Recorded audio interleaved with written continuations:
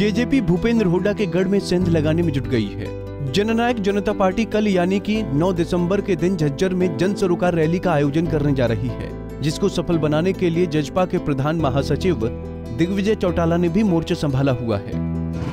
जो भिवानी तक रात को एक काफिला तीन चार हज़ार का हो जाएगा और कल दस हज़ार का काफिला हम लेकर के जाएँगे।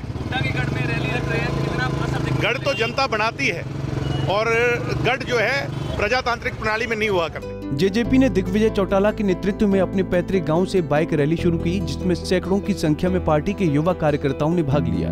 सिरसा के गाँव में बाइक रैली के पहुँचने पर जजपा कार्यकर्ताओं द्वारा उनका जोरदार स्वागत किया गया।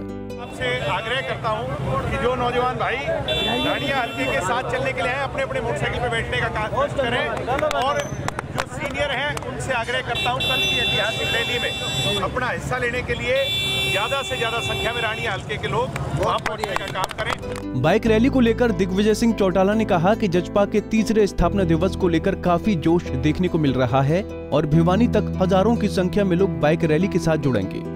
उन्होंने कहा कि रोहतक और उसके आसपास का एरिया देश के पूर्व उप मुख्यमंत्री चौधरी देवीलाल का घर रहा है। और जेजेपी किसी के गढ़ में रैली का आयोजन नहीं कर रही है बल्कि अपने घर में रैली कर रही है।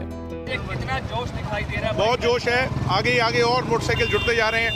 मुझे उम्मीद है कि जो भिवानी तक रात को एक काफिला तीन चार हज़ार का हो जाएगा और कल दस हज़ार का काफिला हम लेकर के जाएँगे।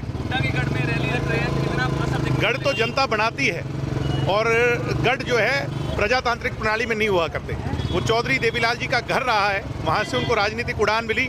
हम उस घर में अपने रैली कर रहे हैं। गढ़ में नहीं, घर में रैली कर रहे हैं। बता दें कि जेजेपी की ये बाइक रैली चौटाला गाँव से शुरू होकर सिरसा, फतेहाबाद और हिसार के गाँव से होते हुए भिवानी पहुंचेगी। बाइक रैली का ठहराव भिवानी में होगा और उसके बाद 9 दिसंबर को जजपा के तीसरे स्थापना दिवस पर झज्जर में रैली स्थल पर बाइक रैली का समापन होगा। सिरसा से सतनाम सिंह, पंजाब केसरी टीवी। हमसे जुड़े रहने के लिए हमारे YouTube चैनल को सब्सक्राइब करें और नई वीडियो की नोटिफिकेशन के लिए बेल आइकॉन को दबाएँ। अगर आप ये वीडियो Facebook पर देख रहे हैं तो लाइक ज़रूर करें और ज़्यादा से ज़्यादा शेयर करें धन्यवाद